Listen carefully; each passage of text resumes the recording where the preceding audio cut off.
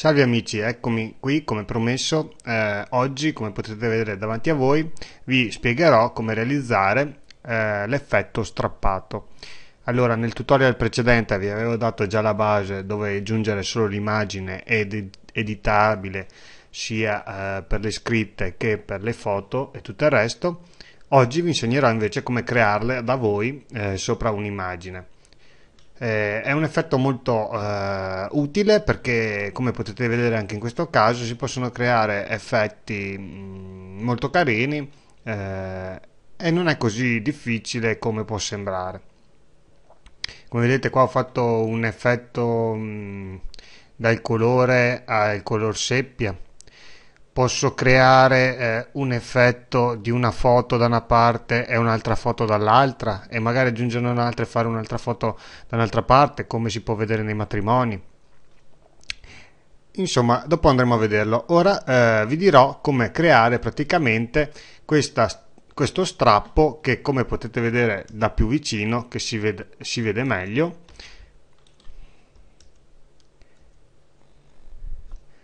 ho ricreato come potete vedere proprio la parte della carta strappata con dei puntini quei puntini che si possono vedere eh, vicino eh, alla carta e la sua ombreggiatura per far risaltare fuori magari una foto che viene da sotto. Bene ma adesso torniamo al nostro tutorial e eh, vediamo come creare praticamente questo strappo. Quindi ripartiamo dal nostro sfondo e andiamo a crearci praticamente un nuovo livello. Quindi cancelliamo i livelli che avevo fatto prima e andiamo a crearci questo nuovo livello. Quindi cliccherò sull'icona qui sotto in basso a destra, crea nuovo livello e andrò a prendermi per tutti coloro che avete Photoshop 6 tramite il pennello andrò a prendermi praticamente il pennello numero 17 se non avete Photoshop 6 chi ha Photoshop 6 ce l'ha già compreso questo pennello andate a ricercare un pennello simile a questo. Benissimo. Eh, partite sempre eh, da una percentuale di pixel più bassa perché dopo avrete modo di allargarvi.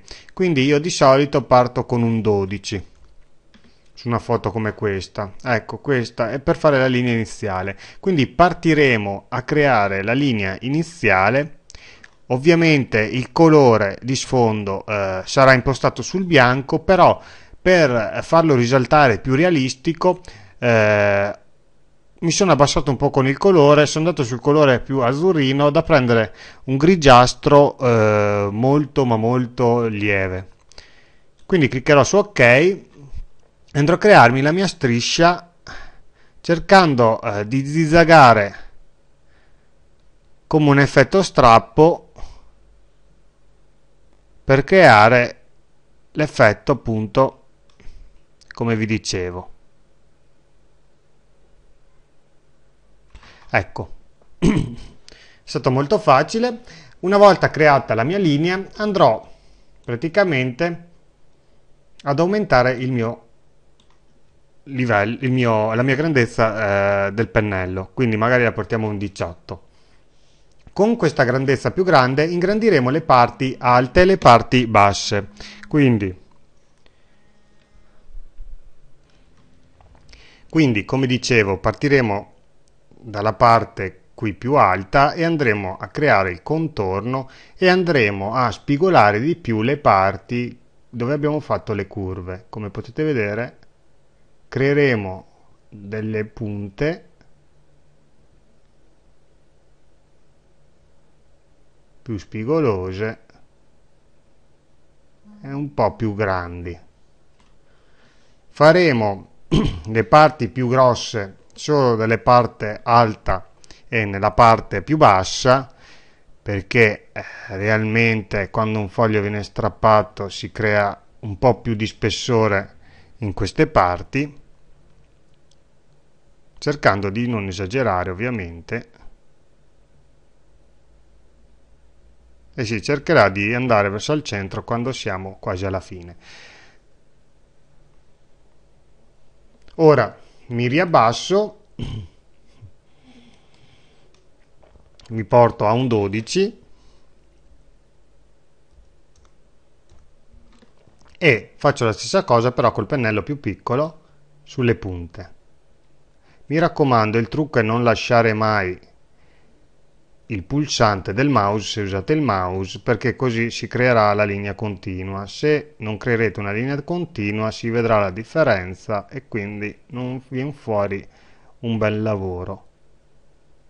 Come vedete andrò a cercare di spigolare di più le parti esterne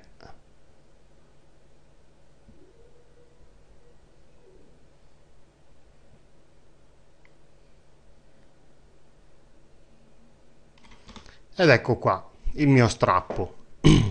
Bene ora cosa dovremo fare? Dovremo andargli a dare praticamente l'effetto cioè creare questa ombra al di sotto dello strappo. Ovviamente se lo strappo viene da questa parte creeremo l'ombra sulla destra viceversa se la, lo strappo viene da questa parte creeremo l'ombra verso sinistra.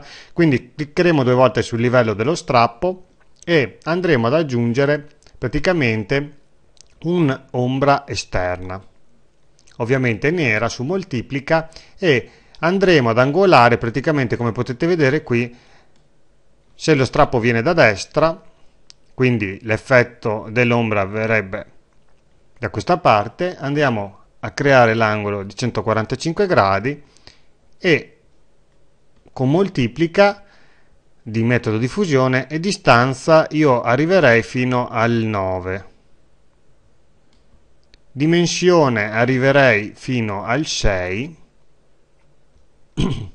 e per chi può piacere come no andrò ad aggiungere praticamente un bagliore esterno non ovviamente giallo ma nero. Con metodo di fusione scolora lo porto a circa un 18% questo per crearmi un po' di ondina anche da, sta, da questa parte qui. C'è chi può piacere, chi no, eh, si può togliere come eh, mettere. Vedete voi, io ve lo faccio vedere. Dopo, una cosa molto importante sarà la sovrapposizione dei pattern. Dei pattern.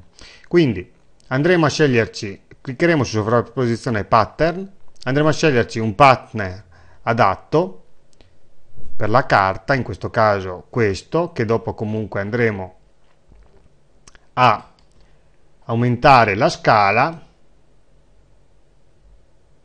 anzi scusate a diminuirla per creare un po' più di puntini e andremo ad abbassare l'opacità per non far vedere quel puntino troppo marcato. Con un 15 può andare bene. Ok, quindi con CTRL più, come potete vedere, avrò creato il mio strappo e eh, come vi dicevo prima potrete eh, aggiungere o togliere il bagliore esterno vedete voi quello che vi piace di più. Se volete potete abbassare un pelo l'opacità se vi sembra troppo marcato o no per me va bene un 100% comunque.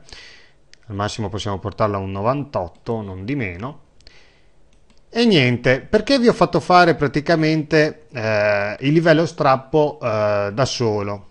Perché in livello vuoto? Perché così potrete eh, modificare la foto al di sotto.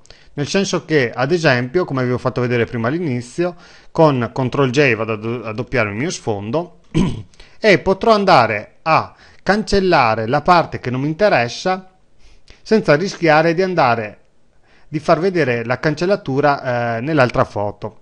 È più facile vederlo eh, che spiegarlo. In questo caso praticamente cosa farò? Creerò eh, un effetto in questa foto o come volete voi potete cambiare direttamente la foto e cancellare la parte diversa che non voglio. Quindi io adesso andrò a creare eh, con immagine regolazioni bianco e nero Farò, come vi facevo vedere prima, una tinta in velocità ehm, color seppia e mi farà tutta la foto, ma io voglio solo questa parte, la parte destra color seppia. Quindi andrò col mio, con la mia gomma, andrò a cancellarmi praticamente la parte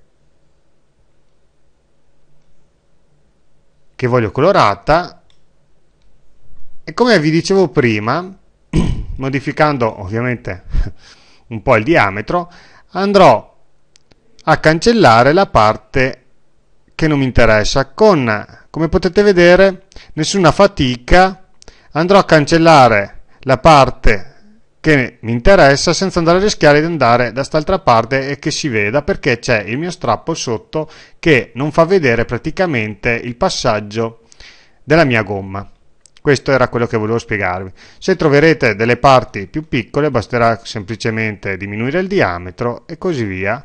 Passerete e andrete a cancellare la parte che non vi interessa.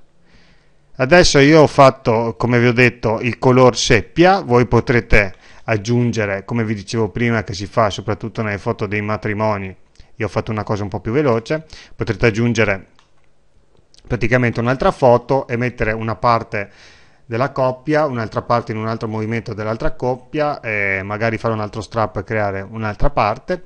E niente, questo è tutto. Quindi eh, questo sarà il nostro strappo.